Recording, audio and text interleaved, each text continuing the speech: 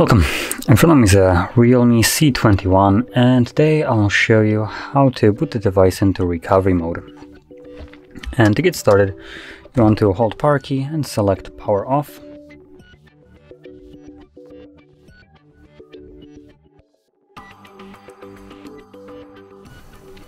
And once the device turns off, you want to hold power key and volume down.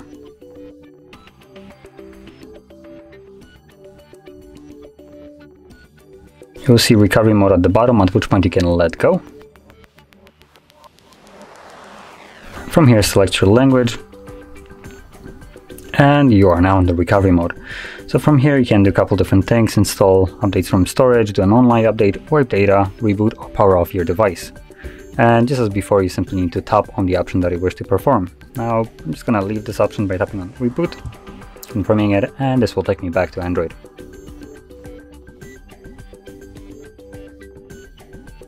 And as you can see, we're now back in Android. So, if you found this video helpful, don't forget to hit like, subscribe, and thanks for watching.